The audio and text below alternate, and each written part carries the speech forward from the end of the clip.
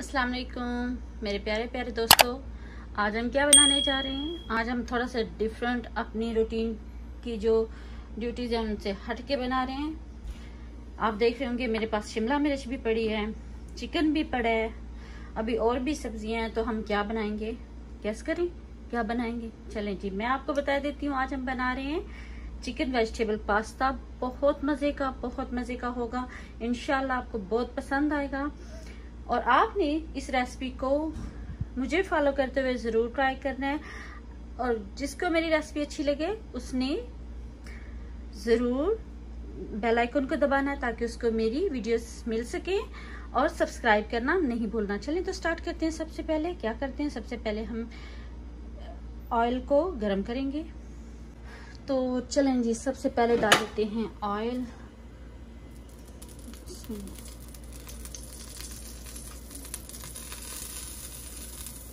Oil डालेंगे थोड़ा थोड़ा करके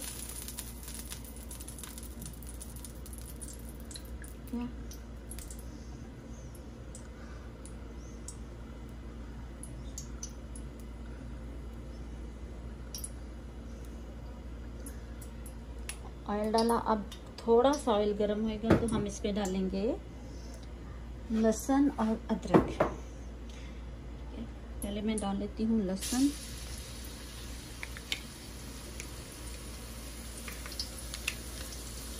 साथ में डालूँगी अदरक। अदरक थोड़ा सा पानी डाल के मैंने इसको कूटने की कोशिश की। जब ये हल्का सा हल्का सा ब्राउन होगा तो फिर हम इसमें क्या ऐड करेंगे? बताती हूँ। आगे चल। चलें जी, आप देखें ज़रा कि अल्हम्दुलिल्लाह अच्छे से ब्राउन हो चुका है। जितना हमें चाहिए, मैंने आपको पहले बताया था कि हमें ज़्यादा इसको ब्राउन नहीं करना। इसमें मैं डालूँगी टमाटर, दो टमाटर है। ये देखिए, मैंने इसका पेस्ट सा भी नहीं बनाया। इनको थोड़ा सा चॉप करने की चॉप किया। तो इसी सूरत में चाहिए अगर आपके पास टमाटर सॉस है तो हल्की सी वो डालें लेकिन इसका टेस्ट अच्छे टमाटर डालेंगे तो इसका टेस्ट ज़्यादा अच्छा होगा। तो आप इसमें ऐसे टमाटर ही डालें तो ज़्यादा बेस्ट है। थोड़ी देर भूनने के बाद हम चिकन ऐड करेंगे। और चिकन को मैंने कैसे किया वो भी मैं आपको दिखाई देती हूँ। अच्छा जी, चलें फ्रेंड्स मैं आपको बताती हूँ कि ये देखिए मेरे पास चिकन था। बोनलेस चिकन ब्रेस्ट का मैंने यूज़ किया। उसको मैंने पहले छोटे पीसीज में काटा, उसके बाद मैंने चॉपर में काटा। मुझे कीमा नहीं चाहिए था, मुझे लाइक इस शेप में थोड़ा मोटा चाहिए था तो जो मैंने खुद घर में किया। अगर आप बाज़ार से लेते हैं तो आप उनको बोलिएगा कि हमें थोड़ा मोटा कीमा चाहिए तो वो आपको बना देंगे। लेकिन मैंने घर चॉपर में किया, मुझे ऐसी सूरत में चाहिए। इसको अब हम ऐड करेंगे। अब आप देखें कि टमाटर भी तकरीबन जैसे हमें फ्राई करने थे, वो हो चुके हैं। एक जो कच्चा पान था, वो सिर्फ़ दूर करना था। हम डालेंगे चिकन और इसको भून लेंगे आप देख रहे हैं कि चिकन मेरे पास काफ़ी ज़्यादा, तकरीबन वन के जी है, क्योंकि मैं पास्ता ज़्यादा बना रही हूँ। इसको भून लेंगे अच्छी तरह से। अच्छा जी फ्रेंड ये मेरे पास दो शिमला मिर्च हैं तो हम रेड वाली और एक ग्रीन वाली। हम इनको ऐसे स्लाइसिस में काटेंगे, ठीक है? इनको क्यूब्स में नहीं काटना, इनको स्लाइसिस में काटना है आपने। आप जिस लाइक अगर आप इतना रखना चाहते हैं, तब भी ठीक है, नहीं तो आपने काटना है तो आप दरमियान से काट भी सकते हैं। चलिए, सारी मिर्ची मैं काटती हूँ और फिर आपको दिखाती हूँ। और साथ में मैंने रख दिया है पास्ता के लिए पानी। ठीक है, आप पास्ता की, पास्ता को हम सेम ऐसे बॉईल करेंगे, जैसे कि हम चावलों को बॉईल करते हैं। इसमें हम डालेंगे दो चम्मच ऑयल तकरीबन दो चम्मच नमक। इससे कम भी कर सकते हैं क्योंकि हमें चलिए आप एक चम्मच डालें तब भी ठीक है क्योंकि पास्ता में भी नमक होगा वो मसाला में चिकन वगैरह में जो हम मसाला तैयार कर रहे हैं उसमें भी होगा। तो हम इतना ही नमक डालेंगे। पानी अच्छी तरह से बॉयल होगा तब हम डालेंगे पास्ता बॉयल होने के लिए। चलें जी वेट करते हैं।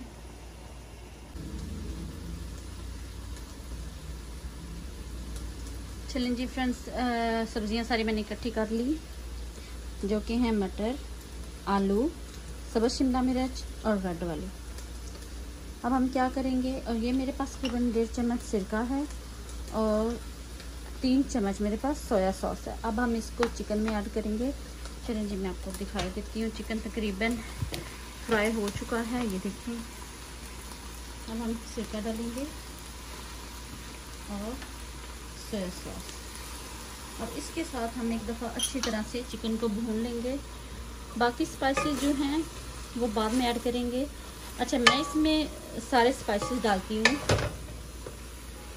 अगर आप नहीं डालना चाहते लाइक अगर सूरज मिर्च नहीं डालना चाहते तो आप स्किप कर सकते हैं, लेकिन मैं डालती हूँ। थोड़ी देर फ्राई करते हैं। अच्छी तरह भून भून जाए तो फिर स्पाइसेस ऐड करते हैं। चलिए चिकन सिरके के साथ और सोया सॉस के साथ बन चुके अब हम इसमें डाल देंगे नमक। नमक है मेरे पास तकरीबन एक चम्मच, क्योंकि आप जानते हैं कि हमने बॉयल करते हुए पास्ता में भी डाला है। और एक चम्मच मेरे पास चिली फ्लेक्स हैं और डेढ़ चम्मच मेरे पास काली मिर्च है। ये मेन इंग्रेडिएंट होता है पास्ता का। इसको स्किप नहीं कीजिएगा। थोड़ी देर हम भूनेंगे और फिर हम अगले स्टेप में दाखिल हो जाएँगे। चलें जी, पहले भून लेते हैं। चलें जी, देख लें, माशाल्लाह से चिकन अच्छी तरह से भून चुका है स्पाइसेस के साथ। अब मैं इसमें ऐड करूँगी दो सब्ज़ियाँ। फ़िलहाल हम सिर्फ़ दो सब्ज़ियाँ ऐड कर रहे हैं कौन कौन सी? मटर और आलू।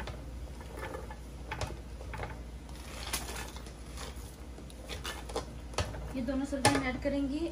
और बाद में जो रेड बेल पेपर है और ग्रीन बेल पेपर है, वो हम बाद में डालेंगे। फ़िलहाल इसको इन सब्जियों को तकरीबन पाँच से दस मिनट के लिए भून लेंगे। चलें जी, देखें, अल्हम्दुलिल्लाह हमारा जो है सारा मिक्सचर जो था वो भून चुका है। अब हम इसमें शिमला मिर्च ऐड कर देंगे। और एक, दो सिर्फ़ इसको बार हिलाने के बाद हम इसके ऊपर ढक्कन रख के थोड़ी देर के लिए दम दे देंगे ताकि शिमला मिर्च एक दफ़ा गल जाए, बहुत जल्दी गल जाती है। तो साथ में तकरीबन मैंने पास्ता भी डाल दिया है, वो भी बॉयल होने के करीब है। तो देखते हैं, अच्छी तरह से मिक्स कर लें। काफ़ी ज़्यादा मिक्सचर बन चुका है। और इसको करती हूँ मैं कवर चलें जी